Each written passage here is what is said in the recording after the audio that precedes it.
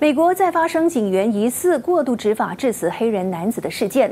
美国明尼苏达州警员在刚过去的周末，为了制服一名非裔男子，而误将手枪当作电击枪，错手杀死了对方，结果点燃了民众的怒火。数百名抗议者无惧宵禁禁令，星期一继续走上街头，要求警方还死者公道，结果爆发了警民冲突。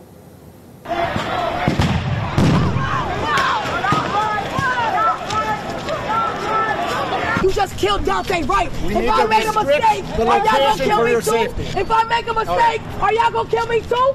Y'all can make mistakes and kill people, and it's okay. 尽管当地州长已经是颁布了宵禁令，但是抗议者依然是走上布鲁克林街头和警方对峙。为了避免示威活动升级，镇暴部队发射了闪光弹和催泪弹驱散群众。警方强调，莱特的死亡完全是出于意外，警方并没有蓄意开枪射杀莱特。美国总统拜登也呼吁民众保持和平冷静，等待警方展开全面调查。